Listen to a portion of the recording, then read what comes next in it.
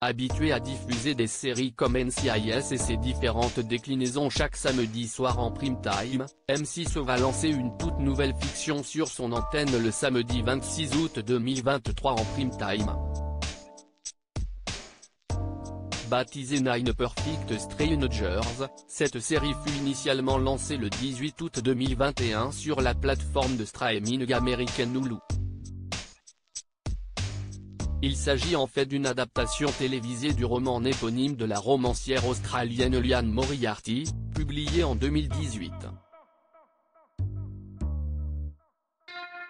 Neuf personnes qui ne se connaissent pas sont réunies dans un centre de remise en forme pendant dix jours, certains pour perdre du poids, d'autres pour prendre du repos. Chacun est prêt à se donner à fond pour atteindre son but, mais tout va devenir beaucoup plus compliqué que prévu. Précise le pitch de cette fiction.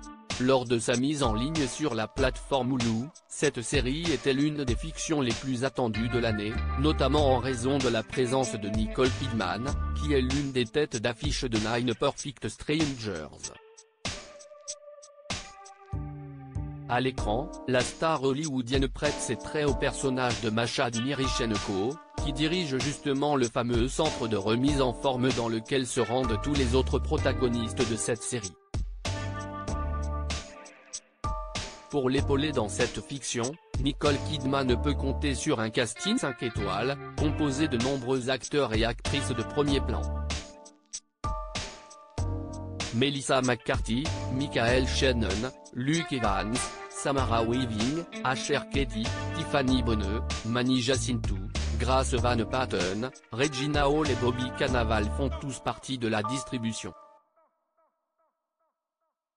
Nine Perfect Strangers M6, la série renouvelée pour une deuxième saison en 2024 malgré des critiques en demi-teinte, la série fut renouvelée pour une deuxième saison, qui est prévue pour sortir durant l'année 2024.